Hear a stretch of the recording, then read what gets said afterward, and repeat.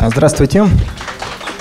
А, я немножко раз попытаюсь рассказать о том, куда отрасль развивается, и то, что, скорее всего, нас с вами всех ожидает в ближайшие 2, 3, 4 года. А, можем там слайдик? Это пока вот такой слайд про сам индивид.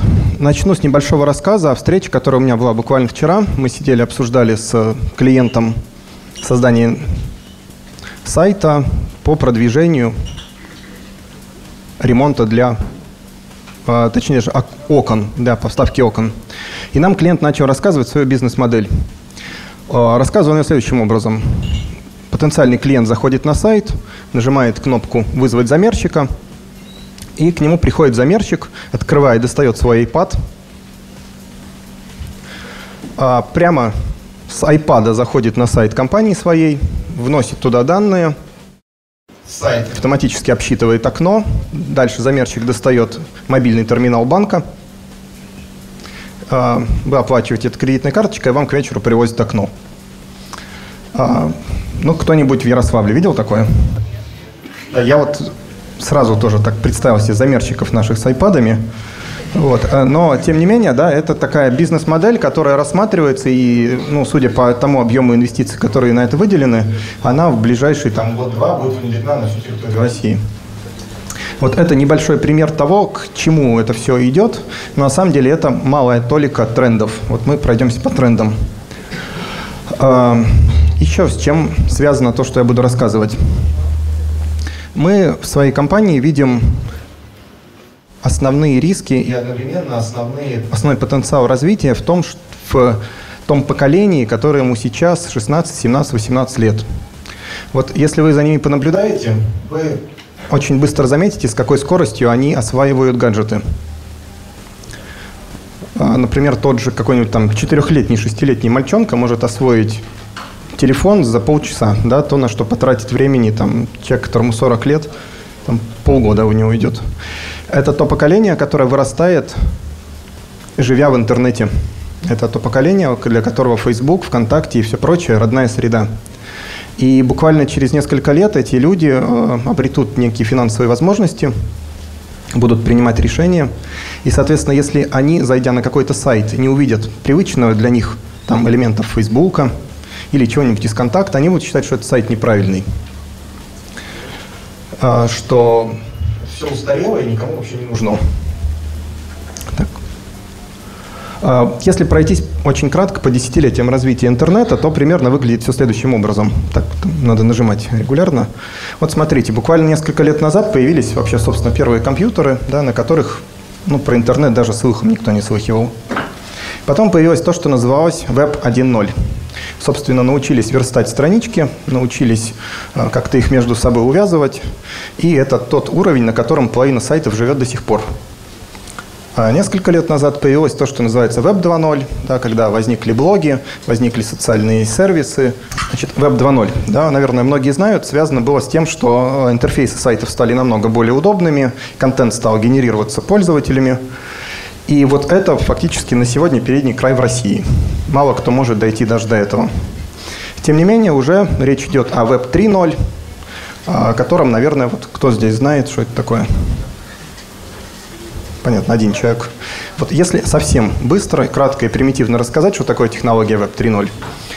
Например, я достаю мобильный телефон, включаю в нем камеру, навожу вот так на первого попавшегося человека – Телефон с помощью веб-камеры опознает этого товарища, автоматически забрасывает информацию о нем в соцсети, находит о нем все профайлы и сразу выдает мне информацию, кто это, что это, чем он занимается, какие у него интересы и так далее. То есть Web 3.0 – это мгновенный поиск персонифицированной информации под ваш запрос.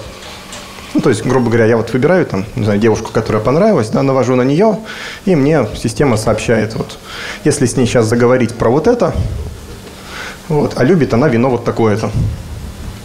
Это Web 3.0 по прогнозам его появления через 1-2 года. Web а, 4.0 – это когда даже телефон включать не надо. А, за вас все делает некий робот, вы в него просто закладываете все желания свои, и он вам автоматически по сети собирает. Вот там лучше продукты купить, вот там вот тебе э, билеты заказать, вот там вот это сделать, вот там это сделать, так называемые семантические агенты.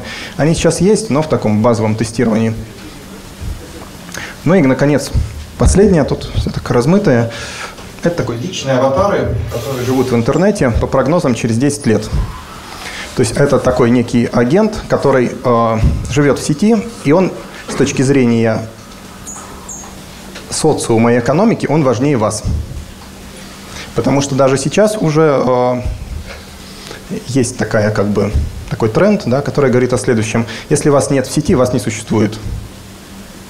А у нас э, наши бывшие сотрудники уехали в Лондон, э, стали там устраиваться на работу. Первый же вопрос, который им задали, покажите ваш профиль на LinkedIn. LinkedIn – это социальная сеть профессиональная. После того, как они, они его показали, у них там оказалось всего по две рекомендации. Им сказали, ребят, товарищи с двумя рекомендациями мы не возьмем на работу. Раз вас нет в сети, вас нет. Да? И сейчас да, многие работодатели тоже перед тем, как взять к себе сотрудника, они ну, в какой-то степени просматривают профайлы. Наверное, многие слышали про большой скандал, по-моему, с Фиатом, когда Фиат выгнал с работы какого-то инженера, который в Фейсбуке у себя написал «Еще один день в этом дурдоме». А там еще двое это отлайкали, их тоже выгнали. А, вот. В, США неправильный статус в Фейсбуке, статус в плане замужем или женат, считается официальным поводом для развода. Наверное, знаете. А, соответственно, как вы понимаете, эта штука будет нарастать. Да, все идет к тому, вот посмотрите современные фильмы, они очень четко пропагандируют вот эту идею, да, что все в сети, все с агентами, все с чипами и так далее. Что происходит уже сейчас? А, раньше было очень понятно, я создаю свой корпоративный сайт, и все, что есть о компании, хранится у меня на сайте. И я это контролирую. Уже сейчас это не так. Да, уже сейчас разный контент у вас, наверное, даже как у частных лиц, хранится в очень разных местах. То, на что раньше ФСБ, КГБ и ЦРУ тратили огромное количество средств на сбор досье о вас, мы теперь все делаем бодро и сами.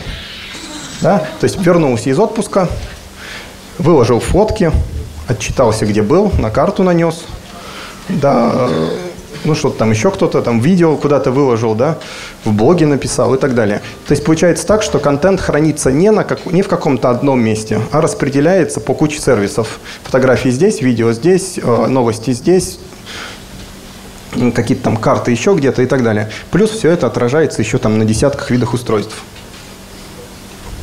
Ну, в частности, да, вот, правда, предыдущая версия iPhone, э, это мобильная версия Delta Airlines, авиакомпании, а, они вот сделали возможность с айфона прям покупать билеты, бронировать рейсы и так далее. Это тоже очень мощный тренд, который говорит о том, что э, сайт без мобильной версии или сайт, плохо работающий на мобильном устройстве, это уже устаревшее нечто. Если на сайт не зайти с iPad, если на сайт не зайти с iPhone, там с Android или с чего угодно другого, значит идите переделывайте сайт. Он будет терять, терять и терять. Ну вот, собственно, а, тот же пример. Delta Airlines, они дошли до того, что новости стали публиковать не у себя на сайте, а в Твиттере. А, это требует очень мощной и большой смелости, потому что а, большинство российских компаний никогда в жизни на это не решатся. Не решатся по одной простой причине. Как только вы начинаете что-то публиковать туда, где возможна обратная связь, вам придется на эту обратную связь реагировать. В стандартной нашей ситуации это никому не надо. Да, почему? Потому что так ваши новости никто не обсуждает, а если вы что-то напишете в Твиттере, вы получите на это там десятки, ну, потенциально, да, каких-то ответов, э, ретвитов, ну и всего прочего. А, еще один тренд, то, что называется smart shopping. Вот до меня рассказывали про интернет-магазины. Вот это несколько иная вещь. Она заключается в следующем. А, предположим, мне вообще не хочется думать о том, что купить. Знаете, есть такой слоган в честь книжки «Не заставляйте меня думать». Вот смарт-шоппинг – это когда я захожу на специальный сайт и либо с помощью группы товарищей, либо с помощью сервиса ввожу сюда какие-то свои данные о том, что бы мне хотелось, и сайт сам подбирает мне, что мне купить. То есть это такой умный шопинг. А, примерно то же самое, только вот эта штуковина, уже функционирующий сайт, он подбирает вам имидж. И, соответственно, вы там можете задать, хочу быть похожим на вот этого человека или вот этого. На это он все это сам проанализирует и скажет вам, вам подходят такие-то марки, такой-то цвет, покупай вот там. Угу. А, то, чего все больше хотят потребители. Они хотят общаться с сайтом и с вашей компанией с помощью сайта не в режиме «отправил письмо и через неделю ответ получил», а как по телефону. То есть они хотят, чтобы э, реакция была мгновенной, да, чтобы вам тут же ответили, чтобы можно было посмотреть э, вообще, что у вас там внутри в компании происходит. Э, недавно вот в Твиттере была такая новость, какие-то там большая компания, она у себя везде поставила веб-камеры и тотально 24 часа в сутки начала транслировать то, что у них в офисе происходит. Относиться к этому можно по-разному, но это вот один из уровней, что называется, открытости. Следующий тренд – максимально активное использование видео в интернете. До последнего момента использование видео было ограничено с мощными мощностями каналов. Сейчас каналы, ну, считается, что везде хорошие. Безусловно, это не так, но считается, что везде хорошие. Вот это интернет-магазин первый, который придумал Э, демонстрацию товара с помощью видео. Причем вы можете выбрать, например, такое-то платье, модель, которая максимально похожа на вас или на того, кому вы хотите это платье купить, нажать кнопку, и вот эта девушка в режиме онлайн это платье оденет. Покрутится, повертится, вот, снимет. Можно ее переодевать сколько угодно. Себя это сейчас следующий сайт покажу.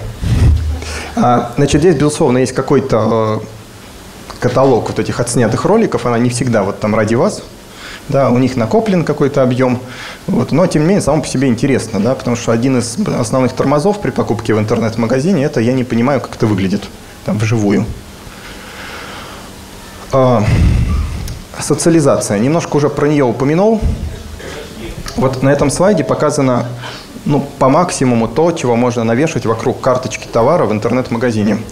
Буквально перечисляя, да, тут можно чего-то полайкать или не полайкать.